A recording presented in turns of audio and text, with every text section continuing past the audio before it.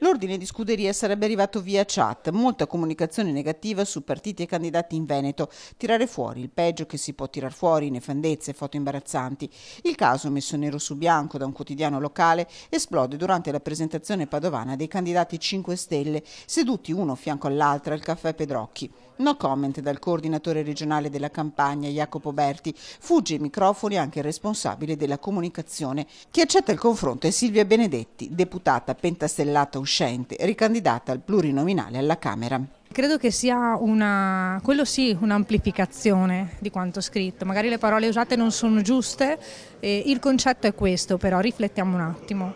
Eh, abbiamo candidati come Nicolò Ghedini, okay? se qualcuno va a vedere sul sito del Senato Nicolò Ghedini risulta assente per il 99,9% di questa legislatura, quindi potrebbe essere definita questa sì una nefandezza, perché io penso che se una persona viene pagata per lavorare per il Paese non ho capito perché si ripresenta in quanto assenteista. Credo che sia un fact checking, cioè una verifica dei fatti relativi ai candidati che si presentano. Verifica dei fatti, liquida così la pratica Silvia Benedetti e invita anche i cittadini a farla. La verifica dei fatti potete farla anche su di me, cioè non è, non è un problema.